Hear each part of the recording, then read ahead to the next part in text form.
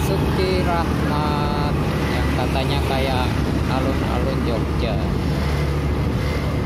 Banyak lampu-lampu. Kayak di alun-alun Jogja ya guys.